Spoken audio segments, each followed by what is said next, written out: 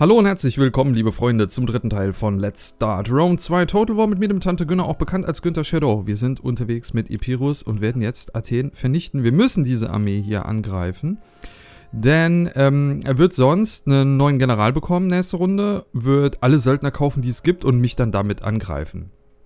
Das ist jetzt durchaus eine Situation, die man noch handeln könnte, denn wir haben hier eine relativ gute Verteidigungsarmee, aber unser nächster Gegner soll ja in jedem Falle Sparta heißen. Deswegen, wenn wir jetzt mit Pyrrhus, unserem General, hier die mutigen Gefährten attackieren, Upsala, ich muss mal gerade etwas schneller noch machen mit der Leertaste. So, das machen wir natürlich hier manuell. Äh, wir müssen es manuell machen, weil wir sonst wieder Elefanten verlieren. Und die Elefanten würde ich mir ganz gerne noch in, so, so, so ein bisschen in der Hinterhand ähm, aufbewahren. Und ähm, die paar Steinstotterer und so, die kriegen wir jetzt auch so äh, platt. Also das ist äh, jetzt überhaupt kein Problem. Da ist außerdem noch ein Spion drin. Auch vor dem Hintergrund, also überhaupt vor dem Hintergrund, weil die KI diese Einheiten äh, behalten wird äh, und ne, überhaupt behalten wird. Das ist ja der Witz an der Sache. Bietet es sich eben an, hier äh, volles Rohr drauf zu gehen. Äh, ich werde mal ganz kurz schauen. Wir haben doch noch einen weiteren General, der hier gleich kommen sollte. Genau, da ist er. Dann komm nochmal her. Ich habe übrigens zwischendrin mal eine kurze Pause gemacht. Das heißt also, wir können jetzt wieder hier ähm, ganz normal weiterspielen. Und weißt du was, diese ganzen angeschlagenen Garnisonstruppen, mh, mm, die schickst du mir direkt wieder nach Hause. Äh, jo. Äh, die bitte auch.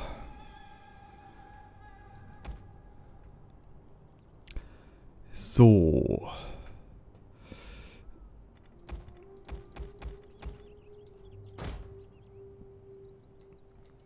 Oh, Moment, ich muss noch meine... Äh, ja, genau, ganz genau. Ich muss mal ganz schnell noch das Profil meiner Maus umschalten. Ich habe es übrigens also ich habe so eine Gaming-Maus von Shakun, ähm, Fireglider oder so heißt sie, glaube ich. Und es ist wirklich eine sehr, sehr schöne Maus mit, also was heißt sehr, sehr schöne Maus? Also meiner Meinung nach die beste Maus für Strategiespiele. Äh, jetzt sagen viele, ja, da braucht man ja gar keine besondere Maus. Absolut richtig, braucht man eigentlich nicht. Es ist allerdings insofern die beste Maus. Ähm, ja, genau, ich habe das alles gemacht soweit.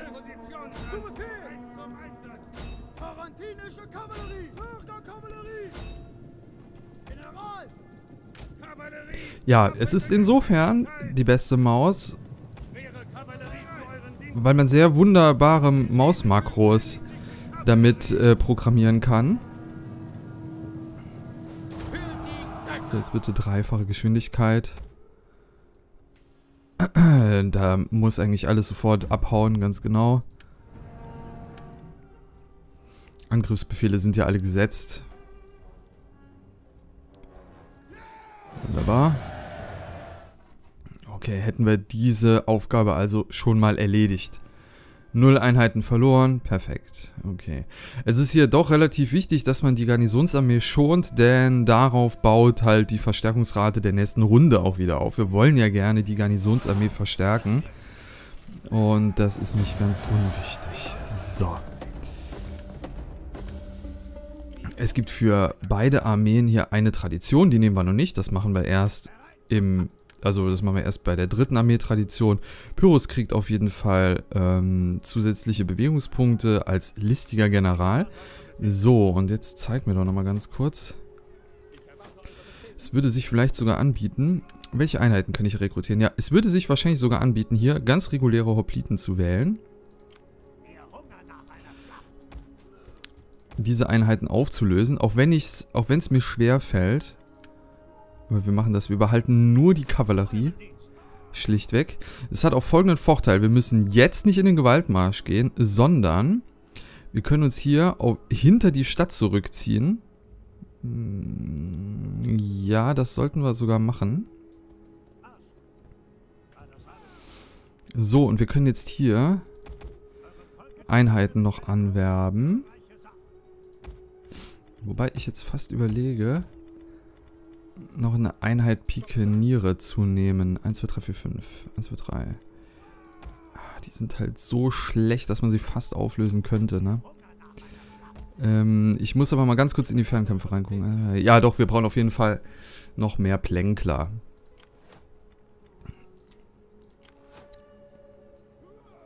Neun von 20 und hier rekrutiert er vier Einheiten.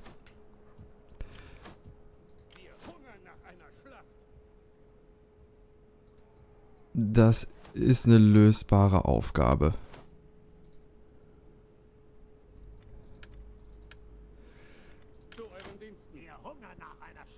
Wir machen auch ein bisschen Geld nächste Runde.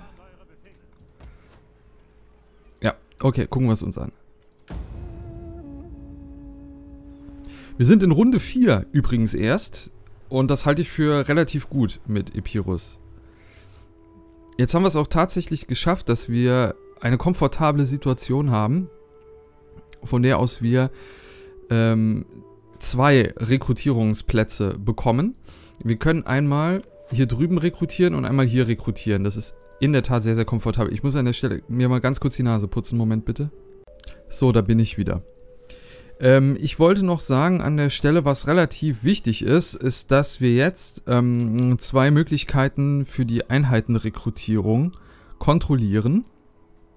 Das ist insofern nicht ganz zu verachten, weil wir damit halt eine ganz gute Fullstack aufstellen können. Momentan habe ich noch die Elefanten drin, deswegen machen wir halt so wenig Geld und können nicht so viele Einheiten rekrutieren und ich habe auch noch drei Einheiten Söldnerkavallerie, die sehr viel Geld kosten. Insofern machen wir da auch sehr wenig Geld, also ihr könnt schon davon ausgehen, dass wir ordentlich mehr Geld machen, dass wir hier sinnvoll einsetzen könnten. Wir haben auf jeden Fall noch genug Geld für unsere Spionin übrig, um mit ihr eine Mission durchzuführen. Darauf solltet ihr auch achten. Und wir gucken jetzt mal gerade, wie die äh, die Spartaner hier stehen. Das ist allerdings etwas merkwürdig. Denn wenn ich das jetzt richtig sehe, ähm, dann steht diese Armee hier nicht in der Stadt. Und ich weiß nicht genau, ob das häufiger vorkommt. Ähm, wir sollten in dem Falle dann aber vielleicht wirklich einfach die Stadt angreifen.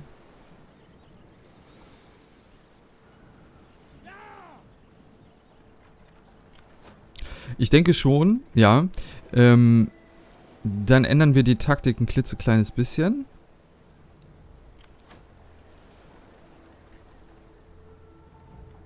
Also spartanische Hopliten sind ziemlich gut. Periögische Pikiniere sind, naja, okay. Periögische Speere, okay, mhm, mhm. Jetzt lass mich nochmal ganz kurz überlegen, wie man das normalerweise, wie man das jetzt am geschicktesten macht. Ich weiß nicht, ob eine der Armeen nicht doch immer in der Stadt stand. De facto ist es so, ich kann jedem nur davon abraten, äh, eine Armee in so einem Verteidigungsfort anzugreifen, ist immer total verbaut, es sei denn, ihr habt Artillerie dabei. Dann könnt ihr das benutzen, aber ansonsten werdet ihr da keine Freude dran haben. Deswegen machen wir das schon mal nicht. So, er hat aber einen Spion dabei, das heißt, die kann ich nicht so einfach ausschalten, das ist schade. Wir machen folgendes, also wir werden die Dämonen des Polemos, die werden wir jetzt vergiften. Und vergiften funktioniert fast immer in Runde 4, soweit ich weiß. Zumindest in der Art und Weise, wie ich jetzt hier gespielt habe. Und wenn ihr das so nachspielt, dann sollte das Vergiften bei euch auch in Runde 4 funktionieren. Das funktioniert eigentlich immer. Also wirklich fast immer. Ich kann nicht sagen, ich habe es nicht ausprobiert, ob es gegen diese Armee funktioniert. Das sollte aber auch nicht der Fall sein. Im schlimmsten Falle steht diese Armee hier drin und dann vergiftet ihr sie hier und dann führt ihr halt dann doch eben diesen Angriff gegen die Armee hier aus. Aber wir machen es jetzt ein bisschen anders. Ähm, weil ich nicht genau weiß, ob diese Situation für euch reproduzierbar ist, greifen wir Sparta jetzt direkt an. Ja? Das heißt, mh, mm, wir werden jetzt mit Eusebius ins Feld ziehen.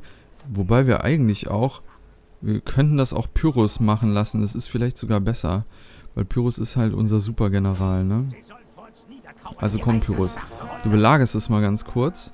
Und wir werden jetzt hier diese Armee von Eusebius werden wir jetzt mitnehmen. Aber du kannst ihm keine Truppen geben, was ich irgendwie ziemlich dämlich finde, aber ist okay. Gut, wir hätten es auch direkt machen können, aber naja, in Herrgottsnamen, dann machst du es jetzt halt so.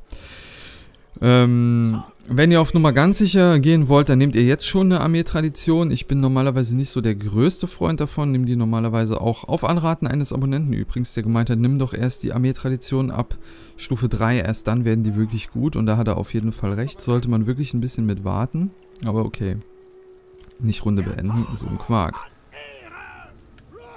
Mhm. Okay, dass wir da jetzt so miserabel aufgestellt sind, ist für mich vollkommen nicht nachvollziehbar.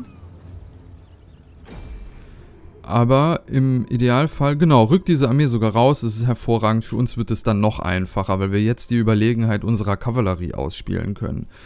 Das ist wirklich sehr, sehr gut. Nebel kann ich allerdings gar nicht gebrauchen. Das ist schon besser. Okay. Mm, er wird jetzt halt dadurch, dass wir auf unsere Verstärkungstruppen warten müssen, wird er wahrscheinlich den Terrainvorteil sich sichern können und ähm, ja, obwohl er rückt ja raus, ne? Er wird wahrscheinlich hier, hier auf diesem Hochplateau campen. Passiert. Können wir nichts gegen machen, aber ist okay. Oh, warte mal. Ich starte auf der ganz falschen Seite. Beschleunigen wir das Ganze ein bisschen. Aber wir haben Elefanten, das ist unser Vorteil. Gut, er kriegt auch Verstärkungstruppen, sollten wir auch nicht vergessen. Aber er bewegt sich jetzt schon auf uns zu.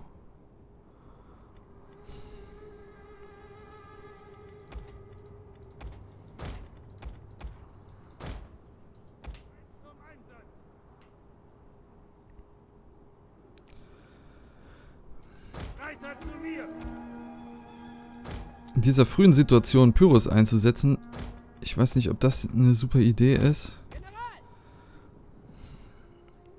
In Betracht der Tatsache, dass es hier zwei Fernkämpfer sind, müssen wir es aber eigentlich schon fast machen.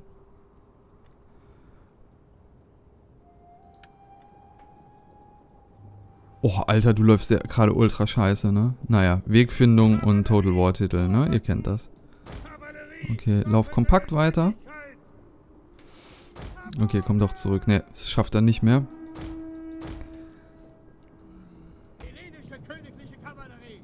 Aber... Ja, ich weiß. Das ist, weil die KI ein verdammter Lamer ist. Aber wir können, glaube ich, hier unten mal nach den Verstärkungstruppen Ausschau halten. Zumindest mit der tarantinischen Kavallerie ist es eine realistische Möglichkeit. Die muss aber auf jeden Fall den Plänkelmodus ausmachen. Ich hab's mir fast gedacht.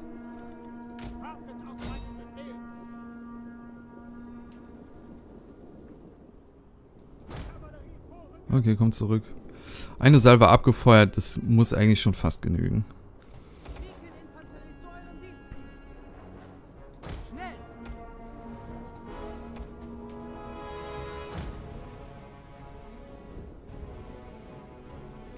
Paar Verluste sind da in Ordnung. Wir werden die meisten Kills mit der Kavallerie machen. Wahrscheinlich noch nicht zu diesem frühen Zeitpunkt. Aber wir sichern uns jetzt den Hügelvorteil. Ziehen wir die Einheit mal hier rüber. Wenn jetzt hier drüben in Stellung gehen.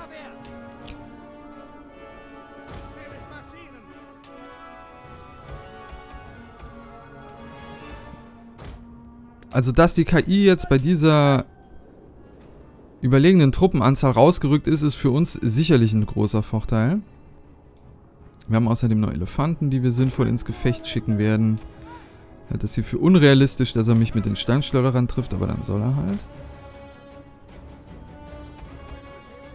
Hm, ihr müsst den Plänkelmodus mal bitte ausmachen. So, wir schicken jetzt die Pikiniere in der Phalanxformation vor.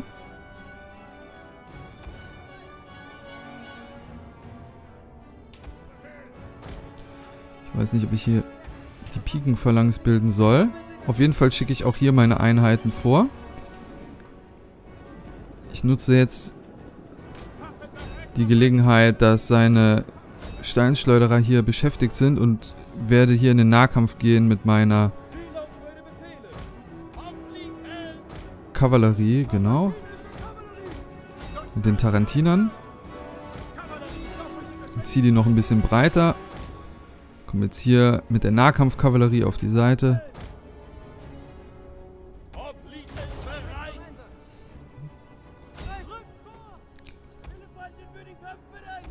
Dass hier die Steinstädter im Nahkampf stehen, halte ich irgendwie für relativ merkwürdig.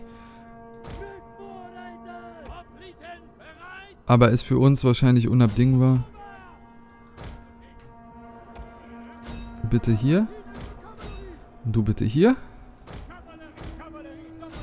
Versuchen wir die noch ein bisschen dünn zu ziehen. Sieht ganz gut aus.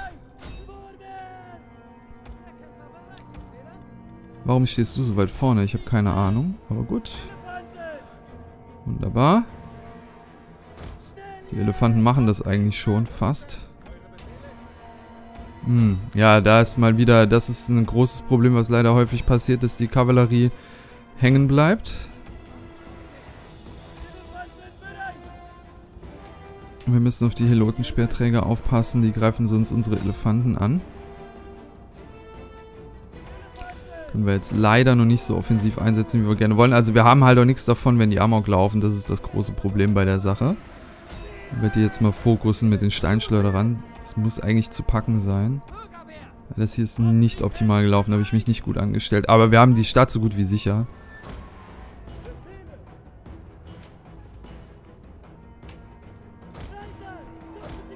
Ja, doch, jetzt können wir hier durch.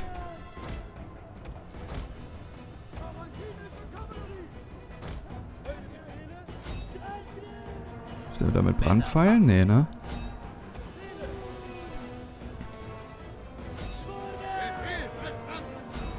Schneller. Machen den Massenansturm. Lass dich bitte nicht abschießen.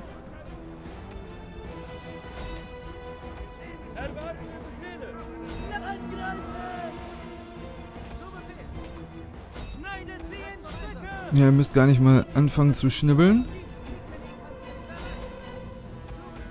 So, ich nehme jetzt die Steinschleuderer zurück. Die brauchen wir hier jetzt nicht mehr. Aber wir werden hier jetzt einmal versuchen, einen möglichst verheerenden Nahkampfangriff hier in den Rücken zu setzen. Es scheint geklappt zu haben. Der Ansturm mit den Elefanten in den Rücken hat nicht so gut geklappt, wie ich mir das hier vorgestellt habe. Aber ist immer noch okay. Hier haben wir es jetzt mittlerweile gleich mal nach fast vier Minuten Zeit geschafft,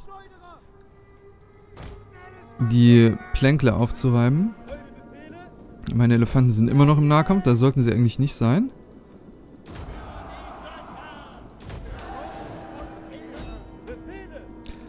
Bitte zieh die Elefanten hier rüber. Okay, wir müssen jetzt versuchen, hier noch möglichst hohe... möglichst viele Einheiten aufzureiben. Jetzt versuchen wir hier auch nochmal einen schönen Ansturm zu setzen. Das klappt auch.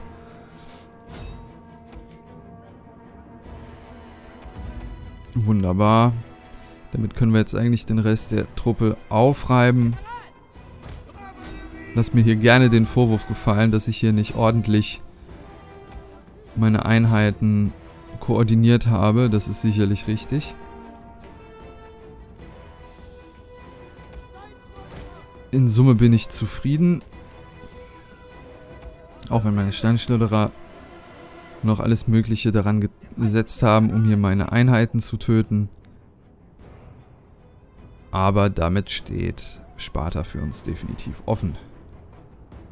Da hinten sind einige wenige Steinschleuderer, die noch versuchen zu flüchten.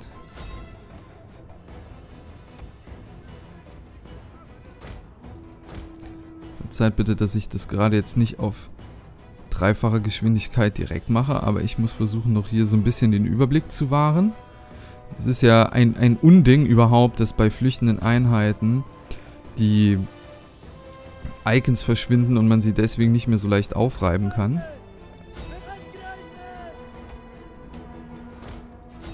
So, jetzt bitte auf dreifache Geschwindigkeit fortsetzen das Ganze. Die Elefanten können auch noch ein bisschen was aufreiben. Ihr erinnert euch vielleicht noch daran, als man mal eine Zeit lang mit Elefanten keine Einheiten mehr aufreiben konnte, weil die Elefanten so langsam waren und alle anderen Einheiten so schnell waren, dass man da fast nichts dran machen konnte. Knüpft ihr die auch noch vor.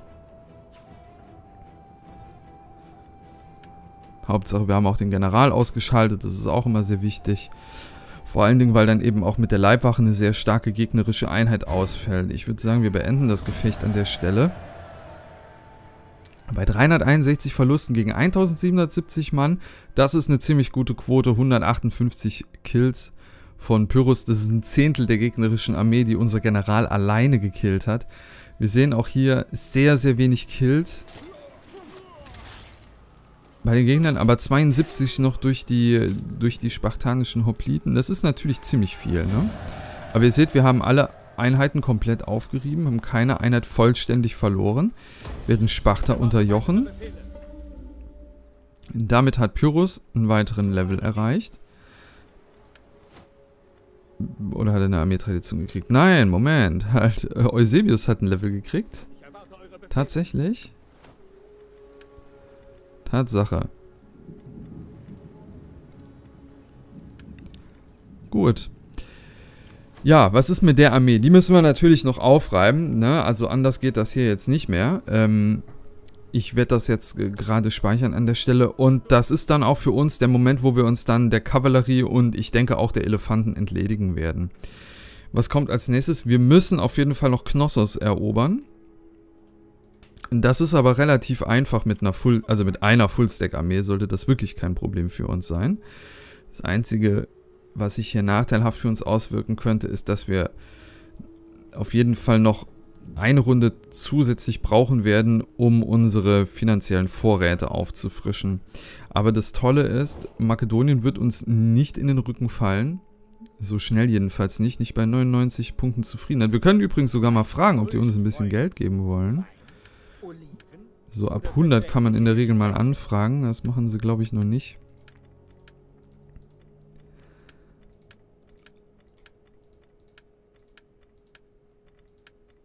Nö.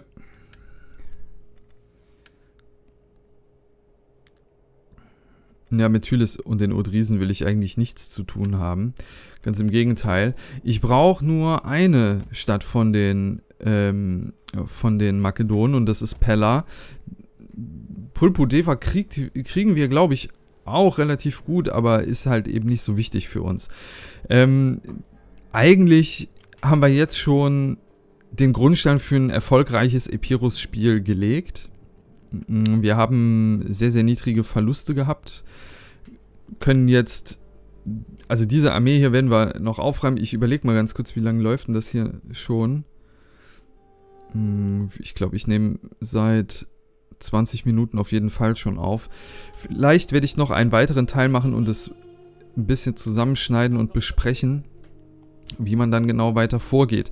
Aber ihr seht, wir haben in Runde 4 haben wir schon unsere beiden Gegner ausgeschaltet. Also wir haben Athen und Sparta ausgeschaltet. Das ist also eine auf jeden Fall lösbare Aufgabe, wenn man sich nicht sehr ungeschickt anstellt bei den Schlachten. Ich hoffe, ich konnte in etwa zeigen, wie man das machen kann. Hier bei den Steinstotterern leider zu hohe Verluste, weil ich, ähm, weil die Pikeniere nicht schnell genug vorrücken konnten und asymmetrisch vorgerückt sind. Daher erklären sich die hohen Verluste bei diesen herban Pikenieren hier. Hätte nicht damit gerechnet, dass die KI so aggressiv vorgeht, aber zu dem Zeitpunkt ähm, des Spiels, wie es aktuell ist, kann man auch mal eine Einheit oder zwei opfern. Also das ist jetzt auch nicht wirklich dramatisch. Ja, ähm, damit haben wir in drei Teilen, wie gesagt, das erfolgreiche Fundament für ein Epirus-Spiel gelegt. Ähm, die nächste Aufgabe ist zuerst Knossos. Damit kontrollieren wir dann Hellas als Provinz.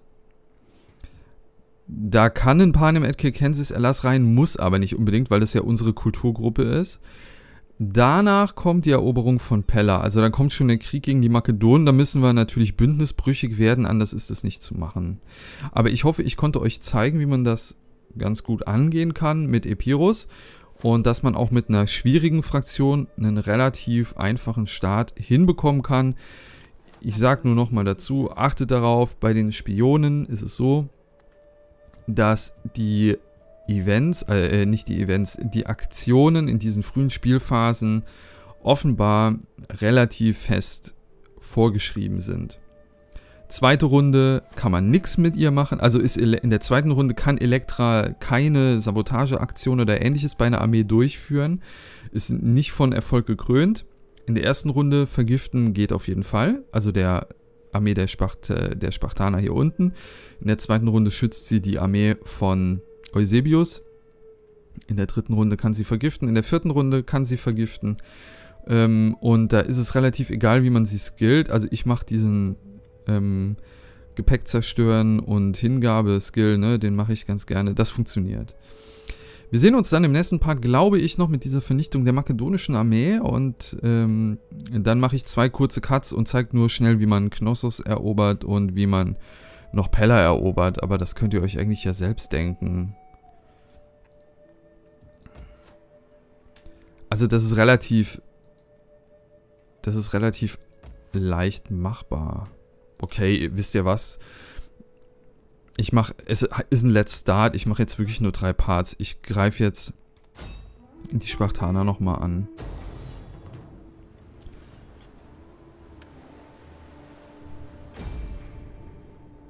Ich trinke schon mal einen Schluck Siegestee.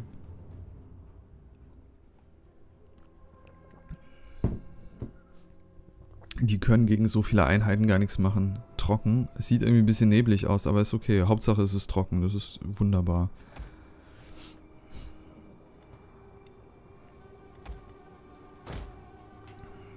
Stell die bitte hier hin. Die lasse ich, glaube ich, flüchten. Ne, warte, hol mir die. Die da nehmen wir doch noch mit. Hm, ich muss mal ganz kurz bisschen weiter von oben drauf schauen.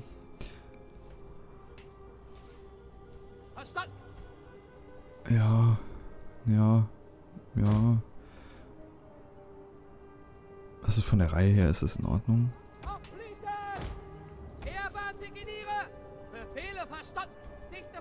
Mit ähm, den Pfeiltasten und Steuerung vor zurück, ihr seht, kann man die ein bisschen genauer modellieren. Das ist definitiv nicht verkehrt.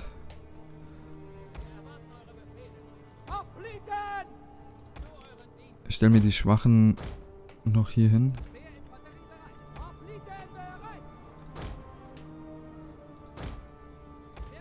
Okay, dann machen wir es genau andersrum.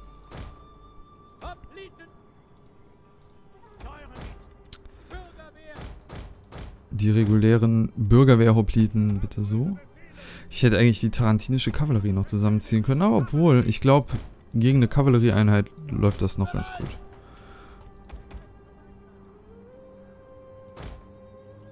Okay, hier machen wir jetzt auch folgendes. Ihr seht, also hier, ich ziehe die noch ein bisschen zusammen. Hm, ja, so ist ganz gut. Ähm, normalerweise, also hier ist es ja so, die Steinschleuderer, die feuern ja alles. Es ist ja nicht so wie bei Napoleon Total War oder so, dass da nur die ersten Reihen feuern. Und das ist ja bei Rome nicht so.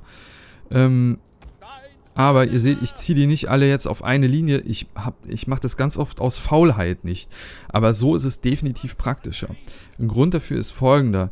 Wenn die KI euch stürmt, und zwar diese Einheit, ja, und ihr im Plänkelmodus seid, der ja auch mal praktisch sein kann, zumindest für die ersten paar Gefechtsphasen, kann er praktisch sein, ähm, dann flüchtet halt hier die komplette Reihe nach hinten, wenn die KI hier vorne an einer Einheit vorbeiläuft. Aber so ist der Abstand etwas größer. Das heißt, die Einheiten im Plänkelmodus flüchten nicht ganz so schnell. Genau, brecht die Formation bitte nicht. Sondern bleibt da drin. Ich glaube sogar, ich nehme die Elefanten noch mit in die Formation rein und die Kavallerie aber natürlich aus dieser Formation raus. Du kannst schon mal flüchten.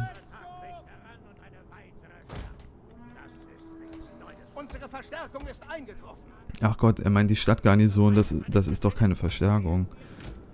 Da ist doch ein Almosen. Noch nicht mal, das ist noch nicht mal ein Almosen.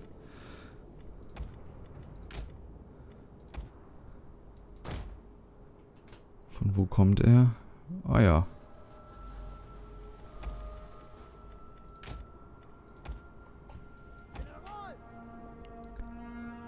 Mhm.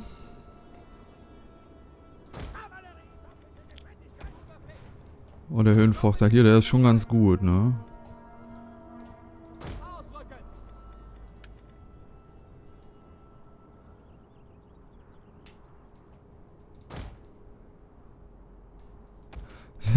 Kavallerie schon hier lauernd auf dem Hügel. Und ich sehe schon, wie sie alle machen, weil sie sich so freuen, hier gleich irgendwelchen Spartanern in den Rücken zu reiten.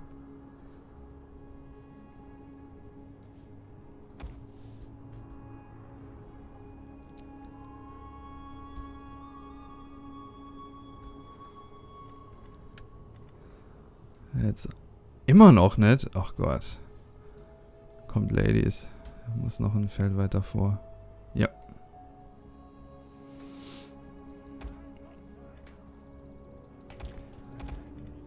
Gut, ihr seid alle schon in der Phalanx. Bei den Hopliten weiß ich es jetzt gar nicht. Ich kann aber mal auf jeden Fall sagen, dass ich hier meine Speerträger auf der Seite vorbeiziehe.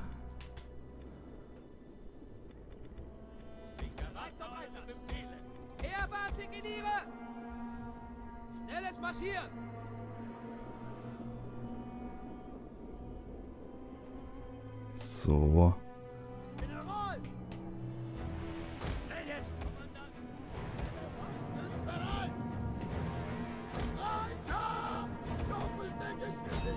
Schießt auf die hier.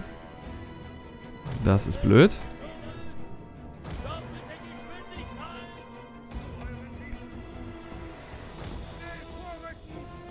Die Söldnerkavallerie kann man jetzt hier durchaus äh, in den Orkus jagen, sage ich mal.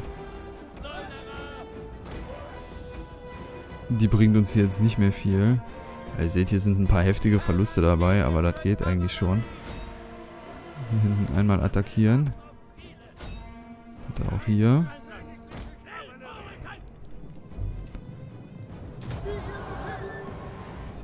Schneller, damit wir hier noch unsere Sonderfähigkeit einsetzen können. Na komm.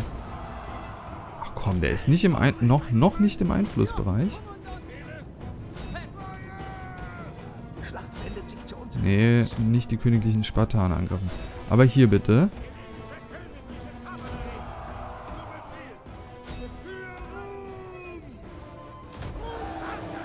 Wir motivieren die mal gerade ein bisschen.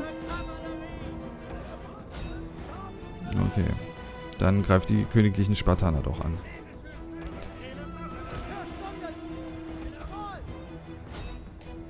Also, ich sehe es jetzt hier nicht mehr ein, die Elefanten zu schonen.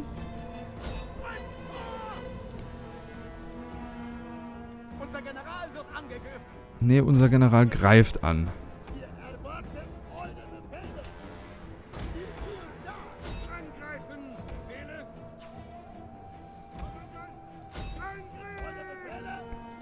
Na komm, auch hier noch bitte einen schönen Ansturm. Jawohl.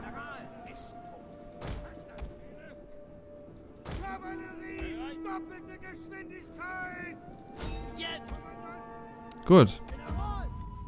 Klar, natürlich fahren wir hier fort.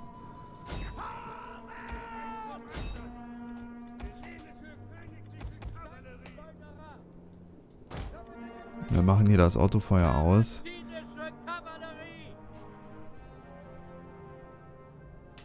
Gucke mal gerade, was haben, haben wir da noch etwas? Hier, da, ne?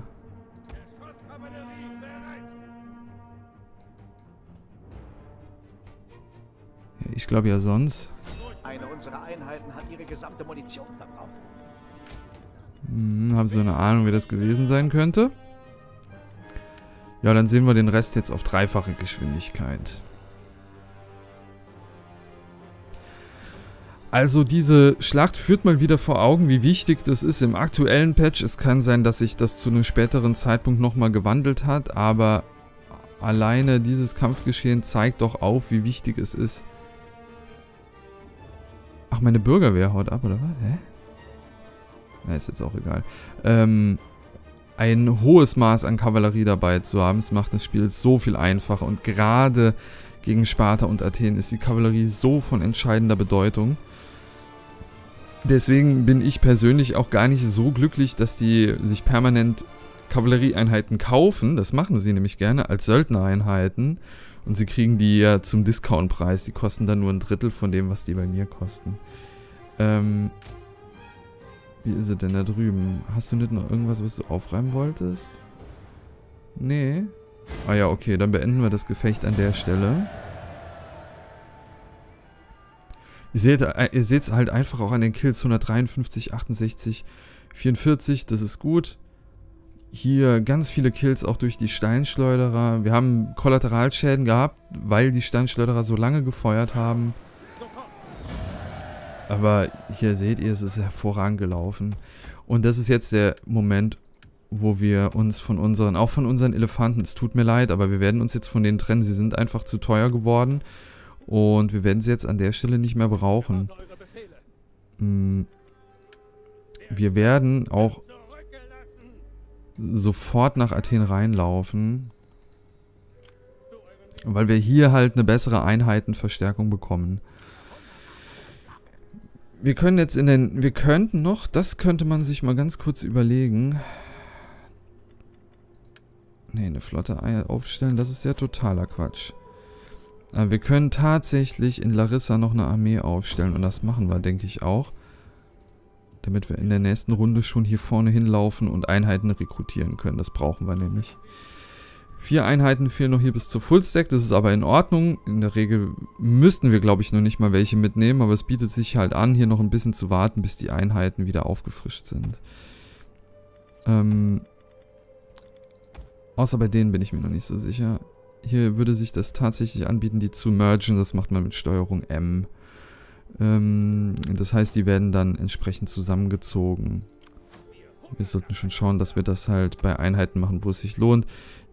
Die reguläre Bürgerwehr brauchen wir nicht, die ist einfach viel zu schlecht. Ähm, euch brauchen wir noch nicht zusammenzuziehen, solange wir das auch nicht bei den normalen Piki nehmen. Und die werden wir später zu einem weiteren Zeitpunkt auflösen. Und wir haben eine hervorragende Ausgangssituation mit Epirus. Wir haben die zwei gefährlichsten Anfangsgegner ausgeschaltet. Das sind wirklich zwei Kraftpakete, mit denen man am Anfang fertig werden muss. Athen, was halt nicht nur gefährlich ist wegen den auserwählten Hopliten, sondern auch noch wegen der starken Befestigung in der Stadt. Auf der einen Seite. Sparta, was wegen den wahnsinnig starken Einheiten halt auch eine ganz, ganz, ganz, ganz schwierige Nummer ist. Damit kontrollieren wir Südgriechenland vollständig bis auf Knossos. Das ist unser nächstes Ziel, wo die Reise hingeht. Knossos dürfte zu diesem Zeitpunkt in etwa 14 Einheiten oder 12 Einheiten haben und mehr als 12, 14 werden sie so früh auch, glaube ich, nicht bauen. Wir würden auf jeden Fall Elektra mitnehmen, ähm, oder einen Streiter, das könnte man auch machen. Bietet sich aber auf jeden Fall an. Ach, guck mal da, wir können dann noch das Pferdchen von Telesforos aufwerten. Das ist doch super. Ähm, wir könnten Eusebius noch ersetzen durch einen weiteren, äh, durch einen weiteren General aus unserer Linie. Das kann man sich auch überlegen, ob man das von Anfang an macht. Ich würde es aber nicht machen, damit das Spiel auf jeden Fall so weiter verläuft, wie es eben verläuft. Ne? Schau mal ganz kurz. Wir haben doch bestimmt noch irgendwo so eine schöne... Ne, warte mal, hier haben wir sowieso nicht eine schöne Statistik. Hier ist es doch, ne? Genau. Ja. Also, wir sind in Runde 4. Wir haben das Jahr 269 vor Christus. Wir halten vier Siedlungen. Wir haben zwei Siedlungen erobert, keine verloren. Ähm,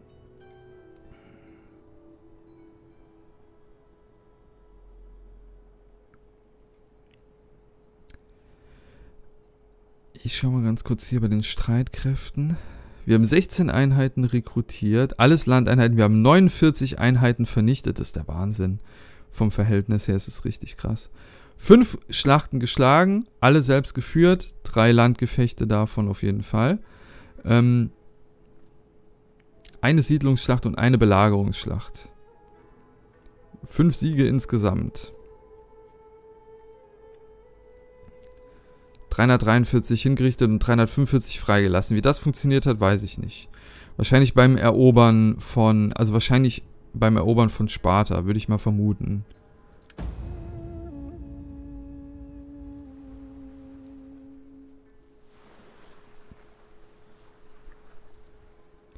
Die Flotte wird Makedonien auch nicht mehr retten. Die haben schon Krieg mit zwei Fraktionen. Athen und Sparta sind weggefallen an der Stelle. Eigentlich kein Problem für uns jetzt. Aber wie gesagt, man holt sich jetzt in der Situation zuerst Knossos. So, ähm, ich schlage halt dann eben vor.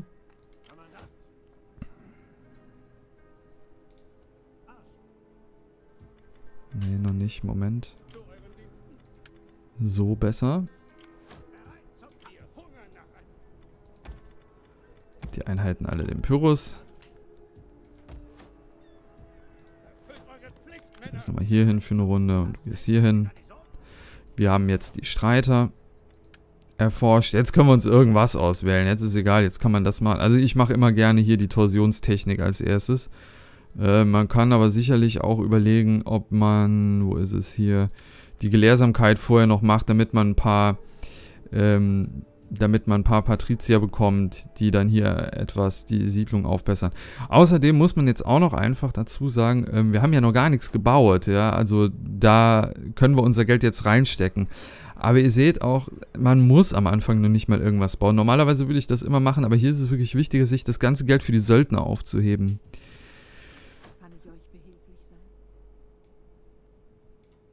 Wir erkunden jetzt erstmal Knossos. Das würden wir jetzt machen.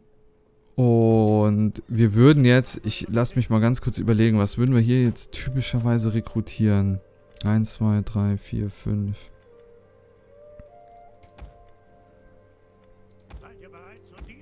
Ich würde sowas vorschlagen. Drei Stück hier. In der nächsten Runde. Tja. Weiß ich noch nicht genau. In der nächsten Runde. Ach, der Vielleicht noch eine Einheit Speerträger, eine Einheit Pikiniere und eine Einheit Hopliten. Und hier, wir könnten uns hier schon mal Gedanken machen, ob wir hier Einheiten rekrutieren, aber ich wäre jetzt vielleicht in dem Falle wirklich dafür, das Geld zu sparen und gegebenenfalls in Infrastrukturmaßnahmen zu stecken. Zum Beispiel... Ach, die Grube ist zu teuer, ne? Die kann ich hier nicht... Ja, schade. Naja, okay. Aber ihr seht, wir haben kein Problem mit der öffentlichen Ordnung, weil das alles unsere Kultur ist. Das ist einfach so gut. Und, ach so, wir können Pyrrhus ja befördern, habe ich ganz vergessen. Und die erste Beförderung ist ja auch immer kostenlos, ne?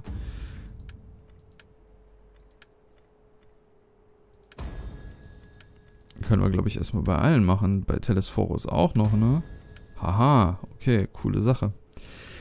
Ja, und äh, so sieht's aus. Mein Let's Start mit Epirus. Ich glaube, wir haben das Beste rausgeholt, haben einen ordentlichen Start hingelegt, haben ähm, mit den Armeen eine ganze Menge rausgeholt. Wir müssen jetzt natürlich eine, ähm, hier äh, eine Hoplitenkaserne bauen. Demnächst. Vielleicht sollte man sich das auch überlegen, die teuren Pikiniere äh, die teuren Hopliten jetzt noch wegzulassen, vielleicht einen Einheitssperrträger zu nehmen und jetzt schon mal... Aber dann eigentlich eher... Uh, das geht hier gar nicht. Warte mal, warum geht. Ah, wegen dem Marmor. Ja, und eventuell hier die Holosideros-Kaserne zu bauen. Denn der große Vorteil ist dann, dann bekommen wir Bürgerkavallerie und wir brauchen ja auf jeden Fall Kavallerieeinheiten. Könnte man sich an der Stelle überlegen, ob man das machen will. Sie werden gegen die Makedonen nützlich sein, auf jeden Fall. Aber das dürft ihr dann entscheiden. Also ab jetzt ist es, ab jetzt könnt ihr euch das aussuchen, wie ihr weiterspielen würdet. Also das ist auch nur meine Empfehlung. Wenn ihr eine bessere Idee habt, wie man das schneller machen kann, also wie man es in vier, äh, schneller als vier Runden, das fände ich schon beeindruckend. Auf jeden Fall. Also ohne KI-Bugs jetzt. Also ich glaube, haben wir, einen, haben wir einen Exploit genutzt?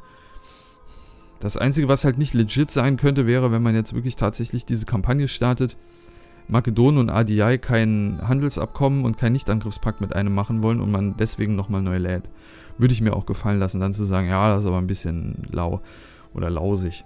Aber so schafft man es eben in vier Runden. Hey, ich glaube, das ist ganz gut. Wenn ihr den Safe Game Spielstand haben wollt, dann schreibt ihr mir eine E-Mail an güntershadow.gmail.com. G-U-E-N-T-H-E-R.